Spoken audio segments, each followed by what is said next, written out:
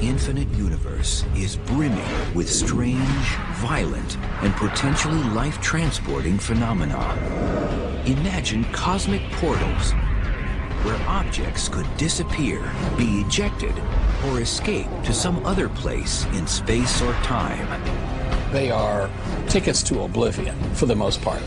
Either you get shredded in a black hole, you get transported to another part of the universe in a wormhole, or you get obliterated by the gusher of a white hole. Blast off to the warp side of the universe as scientists search for black holes, white holes, and wormholes. Are they frivolous fantasies or a science fact?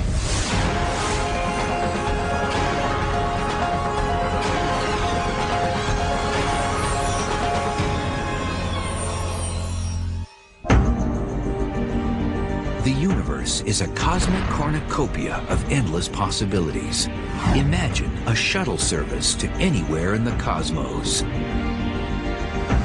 It's not aboard a futuristic spaceship. It's a galactic ride through a wormhole, a theoretical tunnel providing shortcuts through space and time. Wormholes are a little bit like a subway system that you might use in the city, where you're going into a hole, you go through a tunnel, and then you come out at the other end through another hole, and then you've traveled through the city. Same thing would be possible in a wormhole to travel between different points in the universe. Physicist Clifford Johnson has contemplated the possibility of wormholes. The difference between a wormhole and a subway system is that you're using the wormhole to travel a greater distance than you would if you were traveling in ordinary space. In theory, a wormhole has a throat connected to an entrance and exit called mouths, located in different parts of space. A wormhole is appealing because we're limited by the speed of light. We can't get to the Andromeda Galaxy in less than uh, something like 600,000 years, even moving at the speed of light. I keep wondering if the really next big discovery in astronomy could be a wormhole. Not just because they're fun for people like me, but because they could take us to some place that we can't plausibly ever get any other way. Gregory Benford has pondered the science and fiction of outer space. As both a physicist and author of over 30 sci-fi novels, Benford has witnessed fantastical theories become a reality. A lot of us would like to know if wormholes really exist or whether they're just another mathematical construct thought up by Einstein the genius. Albert Einstein's general relativity laws allow for the existence of wormholes. In 1930, Einstein and his colleague Nathan Rosen calculated the mathematics of one of these intergalactic pipelines. It became known as the Einstein-Rosen bridge. A wormhole is a solution of Einstein's equations for general relativity, telling us how gravity works. They're hypothetical, and what they do is they connect different parts of space and time. The Einstein-Rosen mathematical wormhole arose from studying black holes. A black hole is a region in space of extremely strong gravity. The gravity is so strong that there is no way for objects that get too near to break away from its gravitational pull. Nothing can escape a close encounter with a black hole, not even light. This inverted fountain serves as a visual analogy to what's going on around a black hole. At the bottom is the uh, area inside the event horizon. And the water falling into it is analogous to gas that might fall into a black hole. Imagine yourself being a fish swimming around this region. Once you get down inside this central portion, you're past the point of no return. But Einstein never intended his wormhole as a tool for space travel. His wormhole is theoretically created at some moment of time. It opens up briefly, then pinches off. Anything that tries to pass through it will get crushed when it squeezes apart.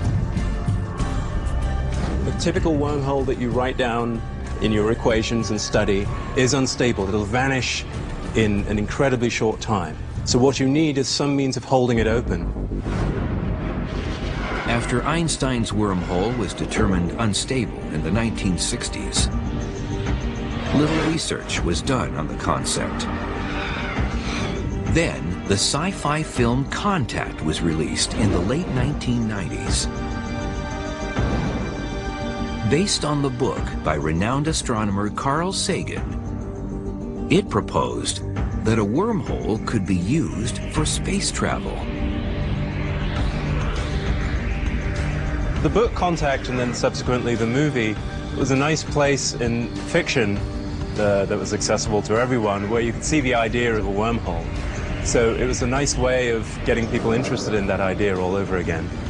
This was kind of a very far-fetched idea that wasn't even considered very seriously by many physicists until Carl Sagan decided to write this book and try to make it as realistic as possible. And since that time, theoretical physicists studying Einstein's general theory of relativity have considered travel through wormholes. Scientists began to investigate whether there might be a type of wormhole different from Einstein's that is traversable. But traversable wormholes needed something to prevent them from pinching off. You want to stabilize the wormhole. You don't want the wormhole to collapse keep the wormhole open. That requires something new called negative matter or exotic matter. We've never seen negative matter before. It would have anti-gravitational properties. But one day, if we ever find negative matter, perhaps that's the key to stabilize the wormhole. The idea of a traversable wormhole captivated science fiction enthusiasts. It also reinvigorated the serious study of wormholes within the science community. This transversable wormhole created quite a sensation because perhaps it is physically possible to one day build a subway system to another galaxy.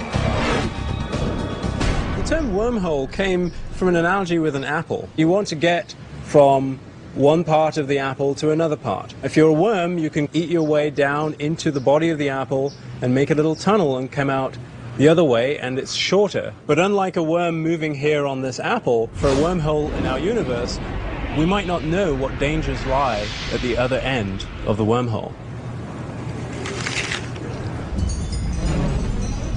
The other end of a wormhole could be connected to a very dangerous part of the universe, with all sorts of exotic phenomena. It might even be in the core of a star. If we ever find a wormhole, and if it's close enough for us to reach, almost certainly we'll first send automated probes through and direct them to come back, maybe even put them on a cable in case something nasty happens to them and they can't return. Physicists do not know of any way that a wormhole might arise naturally in our universe. But can they be made artificially? One possibility that physicists speculated about that might allow you to construct wormholes would be to blow them up from what's considered to be the fabric of space-time that might actually contain tiny wormholes seething in and out of existence due to the laws of quantum mechanics. Scientists proposed that perhaps traversable wormholes could be sculpted out of quantum foam, a subatomic bubble-like structure that might exist everywhere in the universe on length scales a billion trillion times smaller than the nucleus of an atom. That's how you do it in principle. It's completely unfeasible using any technology that we know of, but it's at least something you might consider.